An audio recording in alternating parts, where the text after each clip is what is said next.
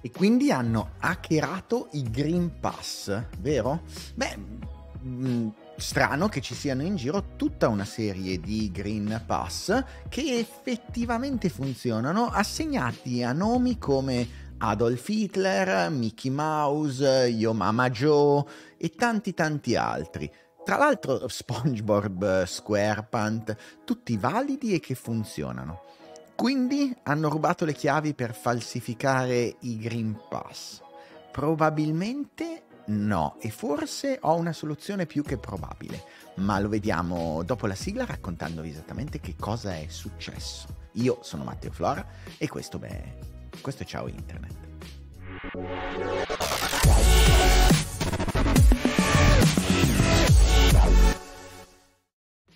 Ciao internet, sono un paio di giorni eh, in cui online mh, mm, c'è un po' di putiferio sul Green Pass. Parte più o meno tutto da qui, quando Reverse Brain inizia a dire attenzione che ci sono in giro dei Green Pass validi che scansionano e che sono mh, mm, riconosciuti come validi eh, di Adolf Hitler. Ce ne sono due tra l'altro, uno scritto maiuscolo, uno scritto eh, minuscolo.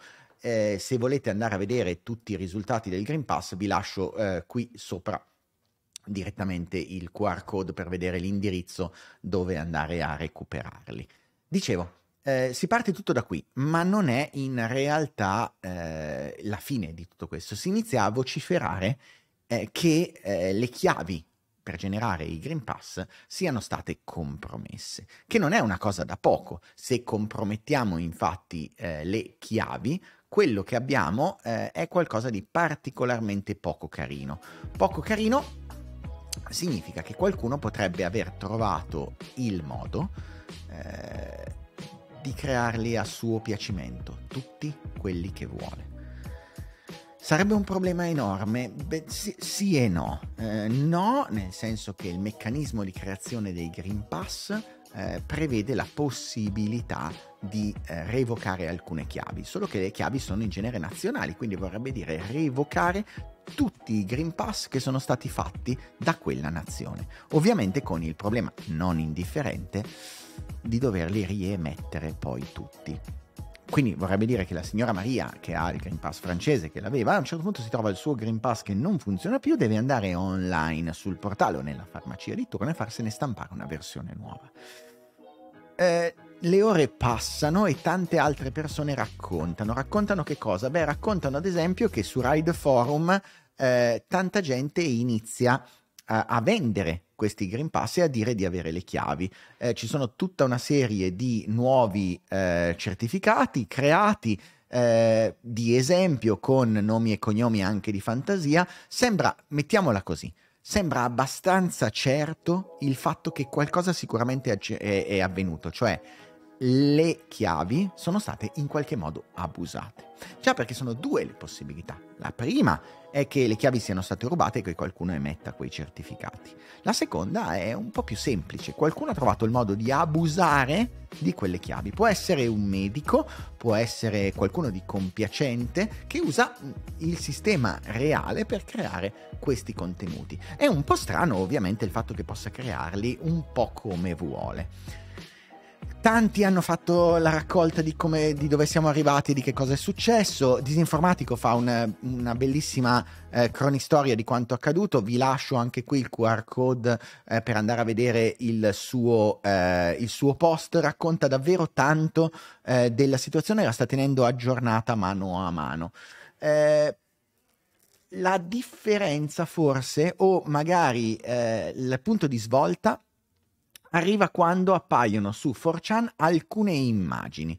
Le immagini eh, che io ho trovato online condivise da Andrea Santianello eh, mostrano che cosa? Mostrano un qualche tipo di eh, portale quasi ufficiale che mostra che questi Green Pass validi. E forse lì è un attimino il eh, punto di svolta. Perché è il punto di svolta? Il rasoio di Occam ci dice che tra più diverse soluzioni forse quella più semplice è quella più eh, corretta.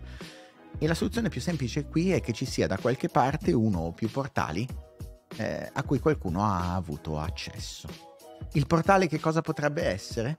Potrebbe essere in realtà molto più semplice di quello che pensiamo, già perché esiste un eh, servizio che viene anche dato eh, di demo, che si può attivare, che si chiama, lo rimetto qui, e, eh, DC, DGCA Issuance Web, cioè il servizio di emissione dei eh, Digital Certificate, che è parte direttamente, è un portale web che è parte diretto del, ehm, del repository dei codici sorgenti che ha eh, condiviso l'Unione Europea e c'è un portale che è incredibilmente simile a quelle immagini che abbiamo visto condivise. Eh, da qui però arriva un secondo problema, quale di queste è stato aperto? In realtà eh, chiunque abbia delle chiavi, cioè qualunque governo nazionale o chiunque ha avuto in mano le chiavi anche mh, per testing, può lanciare questa applicazione. Che cosa fa questa applicazione? Serve per eh, testare, per emettere eh, certificati verdi e, e per testarlo. Per testarlo cosa vuol dire? che andando a esaminare molto attentamente il codice sorgente di questa applicazione, scopriamo una falla enorme, titanica, secondo me almeno. Scopriamo che è possibile tranquillamente scrivere dei dati se si ha accesso ai certificati, quindi si è, se si è qualcuno che ha un portale web tra quelli che sono messi online con installato questo, di un qualunque, uno qualunque degli stati, è possibile fare una cosa è possibile mettere dei dati e fare una preview senza salvarlo e quella preview è un certificato valido. E allora secondo me, però ancora sono mie ipotesi, per adesso da questo momento in poi sono mie ipotesi, nessuno ha rubato delle chiavi eh, nessuno ha trovato medici compiacenti, o meglio, non è necessario che sia un medico compiacente che, su- che, crea un finto Green Pass, semplicemente qualcuno ha avuto accesso al portale e ci saranno centinaia, migliaia di persone che hanno accesso a questo portale per creare i eh, Digital Certificate e non ha fatto nient'altro che fare una preview. Ha messo dei dati spuri, ha fatto semplicemente un check per vedere, ok, questa cosa eh, può funzionare sì no e ha cancellato, non ha salvato nulla, non c'è traccia di questo eh, all'interno degli archivi ufficiali, ma, ma, la preview genera un codice valido. E quindi, eh, beh, e, e quindi quel codice può essere condiviso. Il che, se fosse davvero così, aumenta e complica eh, di tanto eh, il problema. Perché? Perché mentre eh, è possibile revocare eh, tutta una serie di contenuti, cioè di certificati, e quindi è possibile revocare la chiave italiana e far sparire tutti i Green Pass italiani senza grossi problemi, cioè far sparire, invalidarli. La stessa cosa non è vero eh, per i singoli. L'avevamo già detto, avevo fatto un video che parlava di questa cosa, raccontando come non fosse possibile revocare dei Green Pass eh, che erano stati fatti accidentalmente. Almeno non è possibile in alcuni stati, perché nel frattempo che cosa è successo? È successo che alcuni altri stati eh, consentono la revoca. In particolare l'applicazione francese, e qui ne trovate una, una, mm, una eh, infografica che ho trovato online, l'applicazione francese ti dice Attenzione, questo certificato è stato riportato come fraudolento. È successo a valle del, ehm, a valle della diffusione del Green Pass di Macron e con un decreto legislativo, l'equivalente in Francia, è stata implementata la possibilità di avere le liste di revoca. Non ci sono in Italia, ci sono in Francia e in Svizzera c'è una sorta di warning che ti dice attenzione è valido solo con il documento di legittimazione.